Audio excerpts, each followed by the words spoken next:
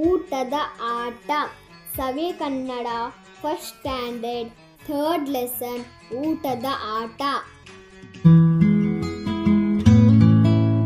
Subscribe now and press the bell icon. Never miss an update.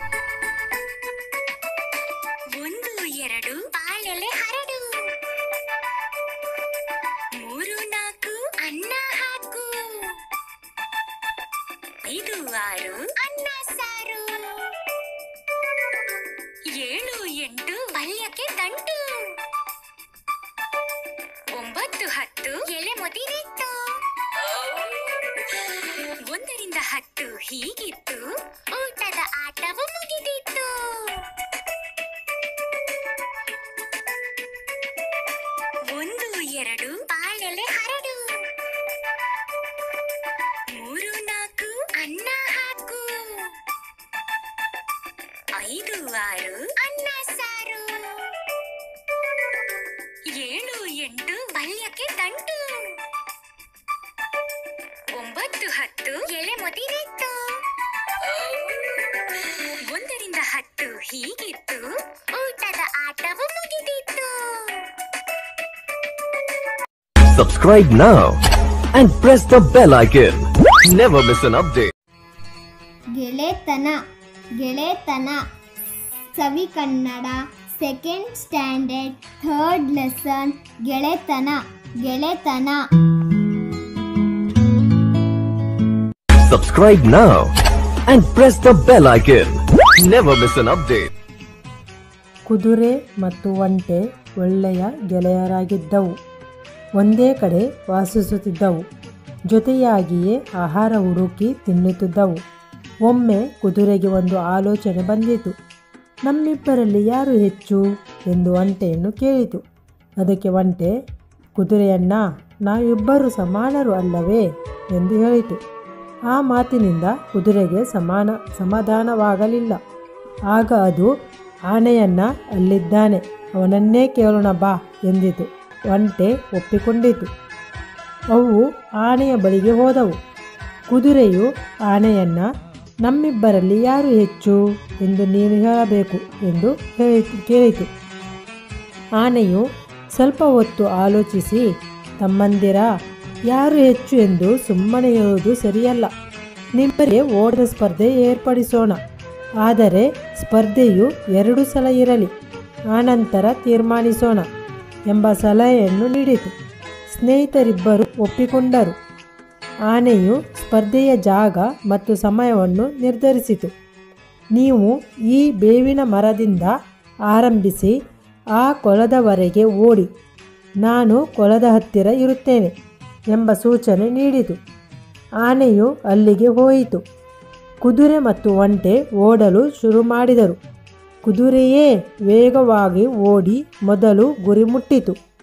ಗೆದ್ದ ಕುದುರೆ, ನೋಡಿದ, ನಾನು ಹೆಚ್ಚು ಅಂತ ಗೊತ್ತಾಯಿತೇ? ಎಂದು ಜಂಬದಿಂದ ಹೇಳಿತು. ಆನೆಯು, ಕುದುರೆಯೇ, ನಮ್ಮ ಒಪ್ಪಂದ ಒಪ್ಪಂದದಂತೆ ಇನ್ನೊಂದು ಕಡೆ ಸ್ಪರ್ಧೆ ಇದೆ. ಅದೂ ಆಗಲಿ ಆನಂತರ ಯಾರು ಹೆಚ್ಚು ಎಂಬುದನ್ನು ತೀರ್ಮಾನಿಸ, ತೀರ್ಮಾನಿಸಬಹುದು, ಎಂದಿತು. ಓಹೋ, ಹಾಗೇ ಆಗಲಿ, ನಾನು ಸಿದ್ಧ, ಎಂದು ಕುದುರೆ ಹೆಮ್ಮೆಯಿಂದ ಹೇಳಿತು. ಆ ಎರಡನೇ ಸಲದ ಓದ ಸ್ಪರ್ಧೆಯನ್ನು ಹೆಚ್ಚು ಮರಳುವ ಜಾಗದಲ್ಲಿ ಏರ್ಪಡಿಸಿತು. ಸ್ಪರ್ಧೆಯ ಆರಂಭ ಮತ್ತು ಗುರಿ ಮುಟ್ಟುವ ಜಾಗಗಳನ್ನು ಗುರುತಿಸಿತು. ಗುರಿ ಮುಟ್ಟಬೇಕಾದ ಸ್ಥಳದಲ್ಲಿ ಆನೆಯು ನಿಂತಿತು. ಓಟದ ಸ್ಪರ್ಧೆ ಪ್ರಾರಂಭವಾಯಿತು. ಅದರ ಮೇಲೆ ಒಂಟೆಗೆ ಸರಾಗವಾಗಿ ಓಡಿತು. ಆದರೆ ಅಲ್ಲಿ ಕುದುರೆಗೆ ಓಡಲು ಕಷ್ಟ. ಎರಡನೇ ಸಲ ಓಟದ ಸ್ಪರ್ಧೆಯಲ್ಲಿ ಒಂಟೆ ಗೆದ್ದಿತು. ಆಗ ಕುದುರೆಗೆ ತನ್ನ ತಪ್ಪಿನ ಅರಿವಾಯಿತು.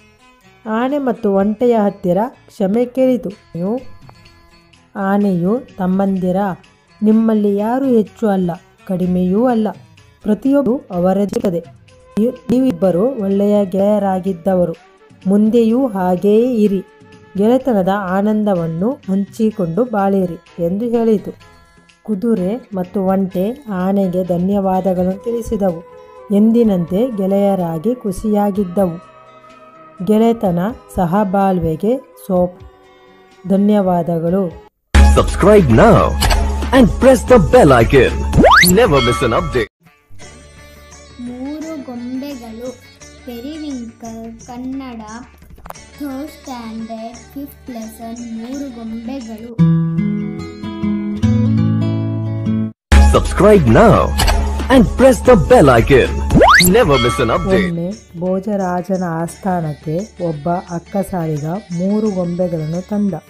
ಅವೆಲ್ಲವೂ ನೋಡಲು ಒಂದೇ ರೀತಿ ಇದ್ದವು. ಆದರೆ ಅದರಲ್ಲಿ ಒಂದು ವ್ಯತ್ಯಾಸ ಅಕ್ಕಸಾಲಿಗ ತೋರಿಸಿದನು. ಒಂದು ಗೊಂಬೆಯ ಕಿವಿಯಲ್ಲಿ ದಾರ ಹಾಕಿದರೆ ಅದರ ಇನ್ನೊಂದು ಕಿವಿಯಿಂದ ಬಂತು. ಎರಡನೆಯ ಗೊಂಬೆಯ ಕಿವಿಯಲ್ಲಿ ದಾರ ಹಾಕಿದರೆ ಬಾಯಿಯಿಂದ ಹೊರಬಂತು. ಮೂರನೆಯ ಗೊಂಬೆ ಕಿವಿಯಲ್ಲಿ ದಾರ ಹಾಕಿದಾಗ ಅದು ಹೊರಬರಲಿಲ್ಲ. ಈ ಗೊಂಬೆಗಳಲ್ಲಿನ ವ್ಯತ್ಯಾಸಕ್ಕೆ ಕಾರಣ ಗುರುತಿಸಬೇಕೆಂದು ಪ್ರಶ್ನೆಯನ್ನು ಅಕ್ಕಸಾಲಿಗನು ಸಭೆಯ ಮುಂದೆ ಇಟ್ಟನು. ಸಭೆಯಲ್ಲಿ ವಿದ್ವಾಂಸರೆಲ್ಲರೂ ಉತ್ತರಿಸಲಾಗದೆ ಮೌನವಾದರು. ಆಗ ಕಾಳಿದಾಸ ಮುಂದೆ ಬಂದು ಈ ರೀತಿ ಹೇಳಿದ. ಮೊದಲನೇ ಗೊಂಬೆಗೆ ತಾಮ್ರದ ನಾಣ್ಯ, ಎರಡನೆಯದಕ್ಕೆ ಚಿನ್ನದ ನಾಣ್ಯ, ಮೂರನೆಯ ಗೊಂಬೆಗೆ ಒಂದು ಲಕ್ಷ ವರಹ ಎಂದ. ಭೋಜರಾಜನೊಳಗೊಂಡು ಎಲ್ಲರೂ ಆಶ್ಚರ್ಯಚಕಿತರಾಗಿ, ಇದರಲ್ಲಿ ಏನು ಅಂತ ವ್ಯತ್ಯಾಸ ಇದೆ? ಎಂದು ಪ್ರಶ್ನಿಸಿದಾಗ ಕಾಳಿದಾಸನು, ಮಹಾರಾಜ, ಮೊದಲ ಬೊಂಬೆಯು ಈ ಕಿವಿಯಲ್ಲಿ ಕೇಳುವುದನ್ನು ಆ ಕಿವಿಯಲ್ಲಿ ಬಿಡುವ ಮನುಷ್ಯನನ್ನು ಸೂಚಿಸುತ್ತದೆ. ಆದ್ದರಿಂದ ಅಂತಹವನ ಬೆಲೆ ಒಂದು ತಾಮ್ರದ ನಾಣ್ಯ. ಎರಡನೇ ಗೊಂಬೆ ತಾನು ಕೇಳಿದ್ದನ್ನು ಇತರರಿಗೆ ಹೇಳಬಲ್ಲವನನ್ನು ಸೂಚಿಸುತ್ತದೆ. ಅದಕ್ಕೆ ಅದರ ಬೆಲೆ ಒಂದು ಚಿನ್ನದ ನಾಣ್ಯ. ಮೂರನೆಯ ಗೊಂಬೆ ತಾನು ಕೇಳಿದನ್ನು ಹೃದಯದಲ್ಲಿ ಇರಿಸಿಕೊಳ್ಳಬಲ್ಲ ಮನುಷ್ಯನನ್ನು ಸೂಚಿಸುತ್ತದೆ. ಇದು ಈ ವ್ಯಕ್ತಿಯ ಕರ್ತವ್ಯಶೀಲತೆಯನ್ನು ತೋರಿಸುತ್ತದೆ. ಅವನು ಸದ್ಗುಣದ ಪ್ರತೀಕ. ಆದ್ದರಿಂದ ಅಂಥವನ ಬೆಲೆ ಒಂದು ರಕ್ಷ ವರ, ವಲ, ವರಹ ಎಂದು ಉತ್ತರಿಸಿದ. ಅಕ್ಕಸಾಲಿಗ ಮತ್ತು ಕನಕ ಕಾಳಿದಾಸನ ಜಾಣ್ಮೆಯನ್ನು ಎಲ್ಲರೂ ಪ್ರಶಂಸಿಸಿದರು. ಭೋಜರಾಜನು ಇಬ್ಬರಿಗೂ ತಕ್ಕ ಬಹುಮಾನ ಕೊಟ್ಟು ಕಳುಹಿಸಿದನು. ಜಾಣನಾದವನು ಪ್ರಪಂಚವನ್ನೇ ಗೆಲ್ಲಬಲ್ ಗೆಲ್ಲಬಹುದು. ಒಂದು ಸಭೆಯಲ್ಲಿ ಗೆಲ್ಲುವುದು ಅವನ ಸರ್ವೇ ಸಾಮಾನ್ಯ ನೀತಿ. ಗುಟ್ಟು ರಟ್ಟು ಮಾಡಿದರೆ ಜೀವನಕ್ಕೆ ಪೆಟ್ಟು. Subscribe now and press the bell icon. Never miss an update.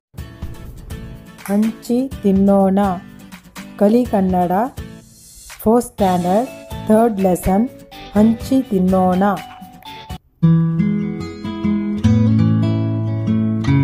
Subscribe now and press the bell icon. Never miss an update. ಬಾಳು ಮತ್ತು ಸೇತು ಒಂದೇ ವಟರದಲ್ಲಿ ವಾಸ ಮಾಡುತ್ತಿದ್ದರು. ಬಾಳುವಿನ ಮನೆಯ ಮುಂದಿನ ರಸ್ತೆಗೆ ತಾಗಿ ಮಾವಿನ ಮರವಿತ್ತು. ಅದು ಮಾವಿನ ಹಣ್ಣಿನ ಕಾಲ. ಮರದಲ್ಲಿ ಕೆಂಪು, ಹಳದಿ ಬಣ್ಣದ ಮಾವಿನ ಹಣ್ಣುಗಳಿದ್ದವು. ಸೇತುವೆಗೆ ಹಣ್ಣು ನೋಡಿ ಆಸೆಯಾಯಿತು. ಕಲ್ಲು ತೆಗೆದು ಒಗೆದ. ಒಂದು ಹಣ್ಣು ಪಕ್ಕದ ಹಿತ್ತಲಲ್ಲಿ ಬಿತ್ತು. ಬಾಲು ಓಡಿ ಬಂದು ಆ ಹಣ್ಣನ್ನು ಹೆಕ್ಕಿಕೊಂಡ. ಅಷ್ಟರಲ್ಲಿ ಸೇತು ಓಡಿ ಬಂದ ಏ ಬಾಲು, ಕೊಡು, ಅದು ನನ್ನ ಹಣ್ಣು. ಅಲ್ಲ, ನನ್ನದು. ನಾನು ಕಲ್ಲು ಒದೆ ಒಗೆದಾಗ ಬಿದ್ದ ಹಣ್ಣು. ಏಯ್, ಯಾವ ಮರದ ಹಣ್ಣು ಅದು? ಯಾವುದೇನು ಮಾವಿನ ಮರದ್ದು. ಮರ ಇರೋದು ಎಲ್ಲಿಯೋ ದಾರಿ ಬದಿಲಿ. ಹಣ್ಣು ಎಲ್ಲಿ ಬಿತ್ತು ಅದು ಅದು ನಿಮ್ಮ ಇತರಲ್ಲಿ ಹೌದು ತಾನೆ. ಅದಕ್ಕೆ ಇದು ನನ್ನ ಹಣ್ಣು. ಕೊಡೋದಿಲ್ಲ, ಹೋಗೋ. ನಾನು ಬೇಯಿಸಿದ ಹಣ್ಣು ಕೊಡ್ತೀಯೋ ಇಲ್ಲವೋ? ಕೊಡುವುದಿಲ್ಲ ಏನು ಮಾಡ್ತೀಯಾ? ಸೇತುವೆಗೆ ವಿಪರೀತ ಸಿಟ್ಟು ಬಂತು. ಬಾಲುವಿನ ಕೈಯಿಂದ ಹಣ್ಣನ್ನು ಕಸಿಯಲು ನೋಡಿದನು. ಆಗಲಿಲ್ಲ. ಇಬ್ಬರೂ ಜಗಳವಾಡಿದರು. ನೆಲದ ಮೇಲೆ ಬಿದ್ದು ಹೊರಲಾಡಿದರು. ಜಗಳವನ್ನು ನೋಡುತ್ತಿದ್ದ ಹಿರಿಯರೊಬ್ಬರು ಅಲ್ಲಿಗೆ ಬಂದರು. ಏಕೆ ಮಕ್ಕಳ ಜಗಳ? ನಾನು ಬೇಯಿಸಿದ ಹಣ್ಣು, ನಮ್ಮ ಹಿತ್ತಲಿನಲ್ಲಿ ಬಿದ್ದ ಹಣ್ಣು. ಹಣ್ಣು ಎಲ್ಲಿದೆ ನೋಡುವ? ಅದು ದಾರಿಯಲ್ಲಿ ಬಿದ್ದು ನಜ್ಜುಗುಜ್ಜಾಗಿತ್ತು ಒಳಗೆ ಮಣ್ಣು ತುಂಬಿತ್ತು. ನೋಡಿದಿರ ಮಕ್ಕಳೇ, ನೀವಿಬ್ಬರು ಶಾಲೆಗೆ ಹೋಗುವ ಹುಡುಗರು. ಜಗಳ ಮಾಡಿ ಏನು ಲಾಭವಾಯಿತು? ಆ ಹಣ್ಣನ್ನು ಹಂಚಿ ತಿಂದಿದ್ದರೆ ಇಬ್ಬರಿಗೂ ಸಂತೋಷವಾಗುತ್ತಿತ್ತು ಅಲ್ಲವೇ? ಮಕ್ಕಳು ತಲೆ ತಗ್ಗಿಸಿದರು ಹಣ್ಣನ್ನೇ ನೋಡುತ್ತಾ ನಿಂತರು. ಅವರಿಗೆ ತಮ್ಮ ತಪ್ಪಿನ ಅರಿವಾಗಿತ್ತು. ಜಾನ ಹುಡುಗರು ನೀವು. ನಿಮ್ಮಲ್ಲಿ ತಪ್ಪನ್ನು ತಿದ್ದುಕೊಳ್ಳುವ ಮನಸ್ಸಿದೆ ಅಲ್ಲವೇ? ಹೌದಜ್ಜ. ಹಿರಿಯರು ತನ್ನ ಕೈಯಲ್ಲಿದ್ದ ಬೆತ್ತ ಬೀಸಿ ಇನ್ನೊಂದು ಹಣ್ಣು ಬೀಳಿಸಿದರು. ಅದನ್ನು ಇಬ್ಬರಿಗೂ ಹಂಚಿಕೊಟ್ಟರು. ಮಕ್ಕಳು ಹಣ್ಣು ತಿಂದು ಜಗಳ ಮರೆತರು Subscribe now and press the bell icon. Never miss an update. ವೀರಮಾತೆ Jijabai Savi Kannada fourth standard third lesson ವೀರಮಾತೆ Jija Subscribe now and press the bell icon. Never miss an update. Jijabai ಮತ್ತು ಛತ್ರಪತಿ ಶಿವಾಜಿ ಮಾತಾಜಿಯವರಿಗೆ ನನ್ನ ಪ್ರಣಾಮಗಳು. ಬಾ ಕಂದ, ಇಲ್ಲಿ ಕುಳಿತುಕೋ ಆಗಲಿ ತಾಯಿ. ಅಮ್ಮ, ನನ್ನನ್ನು ಕರೆಸಿದ ಕಾರಣವೇನು? ನನ್ನಿಂದ ಏನಾಗಬೇಕು? ಕೇಳು ತಾಯಿ. ನಾನು ಕೇಳಿದ್ದನ್ನು ಕೊಡುವೆಯ ಮಗನೇ? ಆಗಲಿ ಮಾತಾಜಿ. ಭವಾನಿ ತಾಯಿಯ ಮೇಲೆ ಆನೆ. ನೀನು ಕೇಳಿದ್ದನ್ನು ಕೊಡುವೆ. ಕುಮಾರ ಆಡಿದ ಮಾತಿನಂತೆ ನಾನು ಕೇಳಿದ್ದನ್ನು ಕೊಡಬೇಕು. ಕೇಳು ತಾಯಿ ಅಗತ್ಯವಾಗಿ ನೀಡುತ್ತೇನೆ. ನಾನು ಧನ್ಯ ಕಂದ, ಈಗ ಹೇಳುವ ಕೇಳು. ಕೊಂಡಾನ ದುರ್ಗವು ಮೊಘಲರ ವಶದಲ್ಲಿದೆ. ಅದನ್ನು ನೀನು ಗೆದ್ದು ನನಗೆ ಬಹುಮಾನವಾಗಿ ಕೊಡಬೇಕು. ಜೀಜಾಬಾಯಿ ಕ್ರಿಸ್ತ ಶಕ ಸಾವಿರದ ಐನೂರ ತೊಂಬತ್ನಾಲ್ಕರಲ್ಲಿ ಲಖೂಜಿ ಜಾಧವರಾವ್ ಅವರ ಮಗಳಾಗಿ ಜನಿಸಿದರು. ಕ್ರಿಸ್ತ ಶಕ ಸಾವಿರದ ಆರುನೂರ ಮೂರರಲ್ಲಿ ಶಹಾಜಿಯನ್ನು ವಿವಾಹವಾದಳು ಶಹಾಜಿಯು ಬಿಜಾಪುರದ ಆದಿಲ್ ಶಾಹಿಯಲ್ಲಿ ಉದ್ಯೋಗ ಮಾಡುತ್ತಿದ್ದನು. ಕ್ರಿಸ್ತ ಶಕ ಸಾವಿರದ ಆರುನೂರ ಇಪ್ಪತ್ತೇಳರಲ್ಲಿ ಶಿವಮೇರಿ ದುರ್ಗದಲ್ಲಿ ಈ ದಂಪತಿಗಳ ಮಗನಾಗಿ ಶಿವಾಜಿಯು ಜನಿಸಿದನು. ಶಹಾಜಿಯು ಮಗನ ಮಗ ಶಿವಾಜಿಯನ್ನು ಗುರುವಾರದ ದಾದಾಜಿ ಕೊಂಡದೇವನಲ್ಲಿ ವಿದ್ಯಾಭ್ಯಾಸಕ್ಕಾಗಿ ಕಳುಹಿಸಿದನು. ಗುರು ದಾದಾಜಿ ಕೊಂಡದೇವನು ಶಿವಾಜಿಗೆ ಕತ್ತಿವರಸೆ ಕುದುರೆ ಸವಾರಿ ಮುಂತಾದ ಯುದ್ಧ ಕಲೆಗಳನ್ನು ಕಲಿಸಿದನು. ಶಹಾಜಿ ಅನಿವಾರ್ಯವಾಗಿ ತನ್ನಿಂದ ದೂರವಾದಾಗ ಜೀಜಾಬಾಯಿ ಬಹಳ ನೊಂದುಕೊಂಡರು. ಆದರೂ ಎದೆಗುಂದದೆ ಸ್ವತಂತ್ರವಾಗಿ ಬದುಕಲು ಪ್ರಾರಂಭಿಸಿಕೊಂಡರು. ಮಗನನ್ನು ಓರ್ವ ವೀರ ಯೋಧನನ್ನಾಗಿ ಬೆಳೆಸುವ ಹೊಂಗನಸಿನೊಂದಿಗೆ ಪುಣೆಗೆ ಬಂದು ಅವನೊಂದಿಗೆ ನೆಲೆಸಿದರು ಜೀಜಾಬಾಯಿ ಚಾಣಾಕ್ಷ ಹೆಣ್ಣು ಮಗಳು. ಕೇವಲ ಓರ್ವ ಸಾಮಾನ್ಯ ಮಹಿಳೆಯಂತೆ ಬದುಕಿನ ಆಗು ಹೋಗುಗಳನ್ನು ನೆನೆದು ದುಃಖಿಸುವ ಹೆಣ್ಣಾಗಿರಲಿಲ್ಲ. ಅಖಂಡ ಭಾರತದಲ್ಲಿ ಮೊಘಲರ ಆಳ್ವಿಕೆಯನ್ನು ಕೊನೆಗೊಳಿಸಲು ಪಣತೊಟ್ಟರು ಭಾರತದಾದ್ಯಂತ ಮರಾಠ ಸಾಮ್ರಾಜ್ಯದ ವಿಜಯ ಪತಾಕೆಯನ್ನು ಆರಿಸಬೇಕು ಎಂದು ತೀರ್ಮಾನಿಸಿದರು. ಪರಕೀಯರ ಗುಲಾಮಗಿರಿಯಿಂದ ಹೊರಬಂದು ಸ್ವತಂತ್ರವಾಗಿ ಬಾಳಬೇಕು ಎಂದು ನಿರ್ಧರಿಸಿದರು. ಶಿವಾಜಿಗೆ ಪ್ರತಿನಿತ್ಯ ರಾಮಾಯಣ, ಮಹಾಭಾರತ ಮುಂತಾದ ಪುರಾಣ ಪುಣ್ಯಕಥೆಗಳನ್ನು ಹೇಳುತ್ತಿದ್ದರು. ನ್ಯಾಯ, ನೀತಿ, ಸ್ತ್ರೀಯರಲ್ಲಿ ಗೌರವ, ಕಷ್ಟ, ಸಹಿಷ್ಣುತೆ ಇತ್ಯಾದಿ ಗುಣಗಳನ್ನು ಚಿಕ್ಕಂದಿನಿಂದಲೇ ಮಗನಲ್ಲಿ ಬೆಳೆಸಿದರು ಶಿವಾಜಿಗೆ ವೀರಪುರುಷ ಕಥೆಗಳನ್ನು ಹೇಳುವ ಸಾಹಸಿ ಕೆಲಸಗಳನ್ನು ಮಾಡುವ ಆದರ್ಶ, ಆದರ್ಶಗಳನ್ನು ಬಾಲ್ಯದಿಂದಲೇ ಬಿತ್ತಿದರು ಹೀಗೆ ಜೀಜಾಬಾಯಿ ಮಗನಲ್ಲಿ ಧೈರ್ಯ, ಸ್ವಾಭಿಮಾನ, ಸಾಹಸ, ಸೇವೆ, ತ್ಯಾಗ ಮುಂತಾದ ಮೌಲ್ಯಗಳನ್ನು ಬಾಲ್ಯದಲ್ಲಿಯೇ ತುಂಬಿಸಿದರು ಅವನನ್ನು ಉತ್ತಮ ದೇಶಭಕ್ತನನ್ನಾಗಿ ಬೆಳೆಸಿದರು ಅಖಂಡ ಮರಾಠ ಸಾಮ್ರಾಜ್ಯದ ಉನ್ನತಿಗೆ ದಾರಿದೀಪವಾದವು ಮುಂದೆ ಶಿವಾಜಿಯು ಪ್ರಬಲ ಮೊಘಲ ಸಾಮ್ರಾಟ ಔರಂಗಜೇಬ ವಿರುದ್ಧ ಹೋರಾಡಿ ಜಯಗಳಿಸಿದನು. ಜೀಜಾಬಾಯಿ ಮಗನ ವಿಜಯೋತ್ಸವಕ್ಕೆ ಬಹಳ ಸಂತೋಷಪಟ್ಟರು. ರಾಯಗಢದಲ್ಲಿ ಶಿವಾಜಿಯ ಪಟ್ಟಾಭಿಷೇಕವು ಅತ್ಯಂತ ವೈಭವದಿಂದ ನಡೆಯಿತು. ಸ್ವಾಮಿ ರಾಮ್, ರಾಮದಾಸರು ಬಂದು ತಮ್ಮ ಹಸ್ತದಿಂದ ಶಿವಾಜಿಗೆ ಮುಕುಟ ಧಾರಣೆ ಮಾಡಿದರು. ಜೀಜಾಬಾಯಿ ಶಿವಾಜಿಯು ಬಾಲ್ಯದಲ್ಲಿದ್ದಾಗ ತಾನು ಕಂಡ ಕನಸು ನನಸಾಯಿತು ಎಂದು ಖುಷಿಪಟ್ಟರು. ಶಿವಾಜಿಯನ್ನು ಆಶೀರ್ವದಿಸಿದರು. ಅಂದು ಅವರು ಸಹ ರಾಜಮಾತೆ ಎನಿಸಿಕೊಂಡರು ಈ ಸಂತೋಷದ ದಿನಗಳನ್ನು ಅನುಭವಿಸಲು ಹೆಚ್ಚು ಅವಕಾಶ ಜೀಜಾಬಾಯಿಗೆ ಲಭಿಸಲಿಲ್ಲ.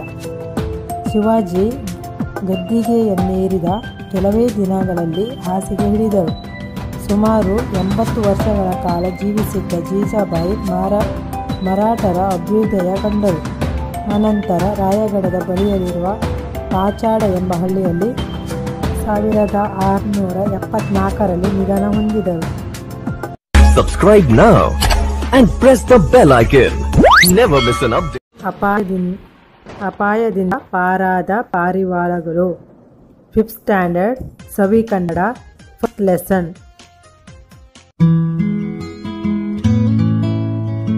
Subscribe now and press the bell icon. Never miss an update. ಬೇಡನೊಬ್ಬ ಪಕ್ಷಿಗಳನ್ನು ಹಿಡಿಯಲು ಕಾಲು ಹಾಕಿ ಬಲೆ ಹರಡಿದ್ದನು. ಕಾಲಿನ ಆಸೆಗಾಗಿ ಪಾರಿವಾಳಗಳು ಪುರ್ ಎಂದು ಹಾರಿ ಬಂದವು. ಅವು ಕಾಲು ತಿನ್ನುತ್ತಾ ತಿನ್ನುತ್ತಾ ಬಲೆಯಲ್ಲಿ ಸಿಕ್ಕಿಕೊಂಡವು. ಪಾರಿವಾಳಗಳು ಬಲೆಯಿಂದ ಬಿಡಿಸಿಕೊಳ್ಳಲು ಹೆಣಗಾಡಿದವು ಆದರೆ ಸಾಧ್ಯವಾಗಲಿಲ್ಲ. ಅದೇ ಸಮಯಕ್ಕೆ ಕಾಗೆಯೊಂದು ಅದೇ ದಾರಿಯಲ್ಲಿ ಹಾರಿ ಹೋಗುತ್ತಿತ್ತು ಅದು ಬಲೆಗೆ ಸಿಕ್ಕಿಬಿದ್ದಿದ್ದ ಪಾರಿವಾಳಗಳನ್ನು ನೋಡಿ ಮರುಗಿತು. ಪಾರಿವಾಳಗಳು ಕಾಗೆಯ ಸಹಾಯ ಬೇಡಿದವು. ಕಾಗೆ ಅವುಗಳಿಗೆ ಒಗ್ಗಟ್ಟಿನಲ್ಲಿ ಬಲವಿದೆ ಎಲ್ಲರೂ ಕೂಡಿ ಒಮ್ಮೆಲೆ ಹಾರಿಬಿಡಿ ಎಂದು ಹುರಿದುಂಬಿಸಿತು. ಪಾರಿವಾಳಗಳು ಪ್ರಯತ್ನ ಮಾಡಿ ಒಮ್ಮೆಲೆ ಬಲೆ ಸಹಿ ಸಹಿತ ಮೇಲೆ ಹಾರಿದವು. ಪಾರಿವಾಳಗಳು ಬಳೆ ಸಹಿತ ಬೆಟ್ಟದ ಸಮೀಪ ಇಳಿದವು. ಇಲಿಗಳ ಸಹಾಯ ಬೇಡಿದವು. ಇಲಿಗಳು ತಮ್ಮ ಹಲ್ಲುಗಳಿಂದ ಕಚ್ಚಿ ಕತ್ತರಿಸಿದವು. ಹೀಗೆ ಪಾರಿವಾಳಗಳು ಅಪಾಯದಿಂದ ಪಾರಾದವು. ಅವುಗಳು ಕಾಗೆ ಮತ್ತು ಇಲಿಗಳಿಗೆ ಧನ್ಯವಾದ ಹೇಳಿ ಹಾರಿ ಹೋದವು ಧನ್ಯವಾದಗಳು. Subscribe now and press the bell icon. Never miss an update.